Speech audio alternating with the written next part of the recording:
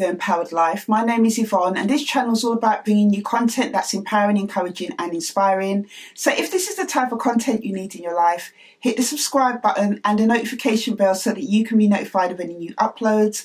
And if you like the content, don't forget to hit the thumbs up button. So, in today's video, I'm doing a book review on a book I recently read, and it is called How to Make It Happen by Maria Hatzistefanis. So, I bought this book in January 2020 and I paid £4.60 Three for it. I think it was from Amazon. I will leave a link to it down in the description box below. I bought this book basically because I was inspired by her first book and it seemed like a useful book to read, especially as I'm still at the beginning of my entrepreneur journey. So right from the introduction of this book, Maria dives straight into the deep end. She gives insight into her experiences as an entrepreneur of 20 years.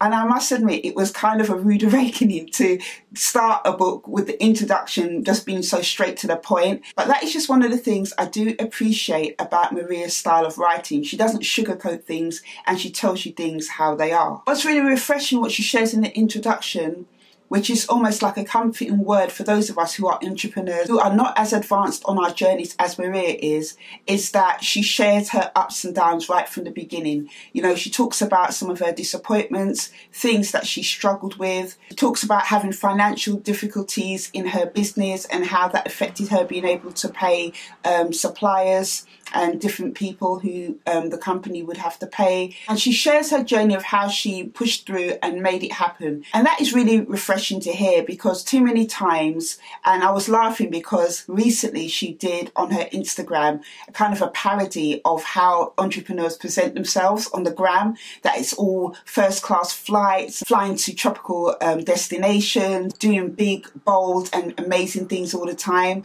And in her parody that she did, is that she was kind of taking a mick out of it, like the people, the entrepreneurs that showed themselves to be doing all these amazing things. But she's showing herself, you know, lugging boxes in trainers, not glammed up to the T's, you know, um, a pencil behind her ear and stuff like that, getting on with the real work. And I think that is the real true picture of an entrepreneur. But sometimes when you look on Instagram and you see um, entrepreneurs, how they present themselves, it's like every day is amazing. And I can definitely say, as somebody who's nearly three years into being an entrepreneur, I think more more resonate with the picture that Maria shares of what being an entrepreneur really is. So for me, this book was worth buying alone just for page 13 and 14. She shares some real deep insights and some real truths, and I'm going to share a little bit with you. Even so, wherever I go, I find people in all walks of life, but particularly business entrepreneurs striving to portray themselves in the best possible light. And only very rarely will you hear the true, uncensored, warts and all story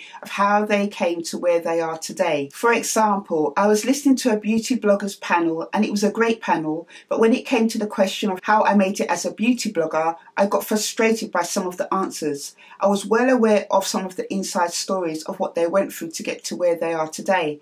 And I was well aware of the huge teams of people behind some of them, the agents, the managers, publicists, and so who had helped them.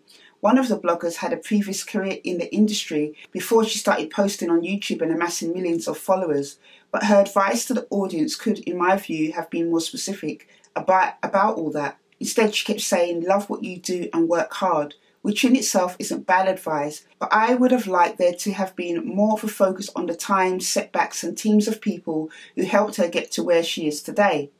I don't question talent, but everyone listening to this was thinking, well, I love what I do and I work 24 7. Why am I not as successful as you?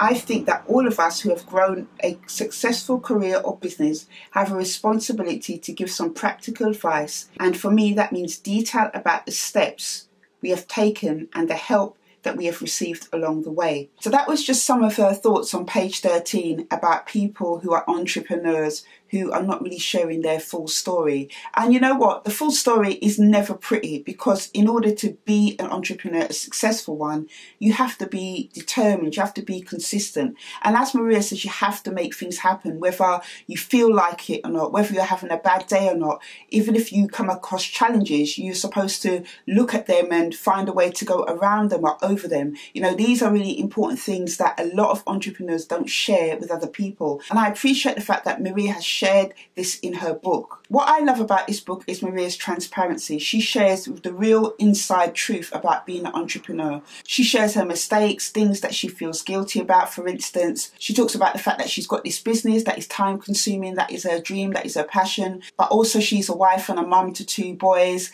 And, you know, some of the times when she feels mum guilt, she talks about that as well. And she talks about, you know, how she manages that because for a lot of time, a lot of people, especially women with kids, do feel mum guilt and they do feel, okay, am I neglecting my family in going after my dreams, in pursuing things that I know that I'm good at? It's something that I have experienced at times myself. One of the things that I was like mm, about with the book is when she was talking about the fact of asking partners to help.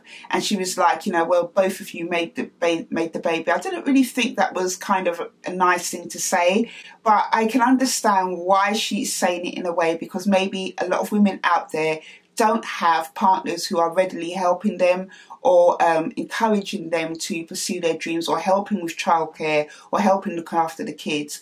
One of the inspiring stories that Maria shares in this book is when she first started out in her business trying to get her products into luxury stores and the process that she went through, I was just like, oh my gosh, some people would have given up by now, you know, but her tenacity and her determination to just continue to go after what she wanted did pay off seven years later. Now, this is one of the things about this book that you will get. You will get a real life account of what it means to be an entrepreneur. There's no sugarcoating in this book it shows you real time process to get certain things. There's times in my entrepreneur journey, which is only nearly three years in, where I'm thinking to myself, oh, am I really going to be able to do it? This is really hard work. But here Maria is with this dream and passion of hers to get her products into luxury stores and getting them in there seven years later. This just goes to show you how hard the journey of entrepreneurship is. She then shows how the process of rejection works and breaks it down into stages. She then also talks about how you can deal with rejection, especially when it comes to business, because as she says, rejection is part of life. You know, it's something that we all have to face in whatever area of our life, but how to deal with it when you're an entrepreneur starting your business is actually really important. And I've experienced that myself where I've allowed rejection to be turned inward and it then discourages me. So I think it's really helpful that she's shared that. Another thing I love about this book is that she shares little how to make it happen tips at the end of each chapter. And the chapters, you know, are fairly good in length she goes into quite a lot of detail with the things that she shares, which is very good. If you're somebody who is right, right at the start of the journey and haven't got a clue about anything to do with how to make things happen as an entrepreneur, this book actually is a good little book for you to pick up so chapter 8 dress to impress that chapter didn't really interest me a lot. You know it had things about wardrobe secrets and how to dress for travel. I didn't really find that that interesting. But if you're somebody who needs help to you know know what to wear for business meetings or for interviews or how to dress for travel on a plane and things like that you may find that chapter interesting. My favorite chapter of the book was about motivation which is towards the end of the book. And I just want to quickly share with you this. The key to success is to keep on going and keep motivating yourself, whether you're feeling it or not. The key to success is consistency and doing something every single day to take you closer to your goal, whether you're feeling it or not and take it from someone who has been there. There are lots of things that can make you feel like throwing in the towel. And she also shares some tips about how she keeps motivation going as well. So this book is not really an exciting book to read and that is not really anything to do with other than because of the subject matter you are dealing with real facts about entrepreneurship from somebody who's been in the business for 20 years. She's telling you it how it is. As she shared in this book, it's a journey of ups and downs all the time. It's never a journey of you are there, you're complete, you nailed it. Entrepreneurship is a lifestyle, it is a business lifestyle, and as she shared in this book, you will have highs and lows.